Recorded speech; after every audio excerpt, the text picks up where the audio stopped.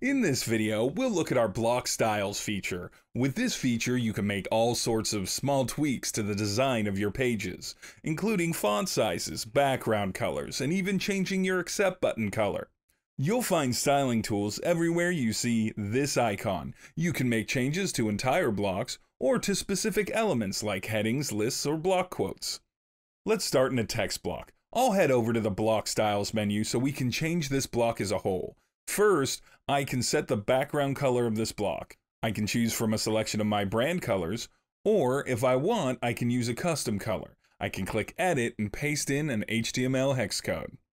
I can also change the width of the content in the block. And then I'll set the block spacing.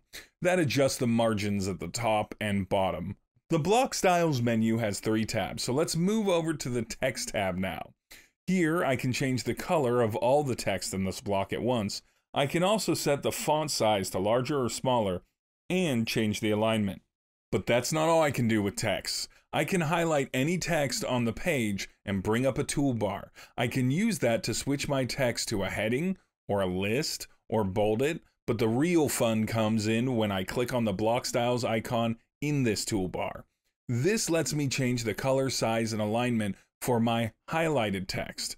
I have an H1 heading here. I can change the color and make it bigger or smaller.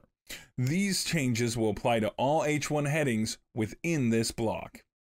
Whether you're adjusting the color of the text or the bullets in a list, or changing the style of a block quote, anywhere you see the paint roller, click on it and you'll be met with the styling options you have for that spot.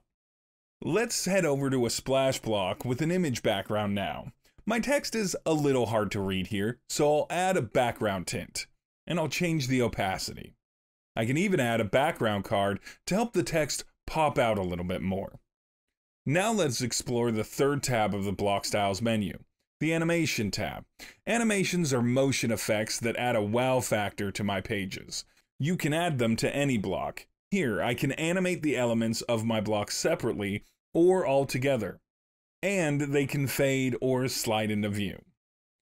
In a quote block, I can make the same block level style changes like color, width, and spacing, but I can also click on the heading of any section of my quote and make even more style changes. I can have a quote match the background or a contrast from it in a card format. I can add a different color to section headings and even set a highlight color to better display my discounts. Lastly, in the Accept block, I can use the Style menu to change the color and alignment of my Accept button. You can also save block styles and reuse them in the future. Once you've made your tweaks, click on that Style Library icon. You'll be able to save what you've created. Later on, if you want to reuse that style in another block, you can head back to the library and choose your style.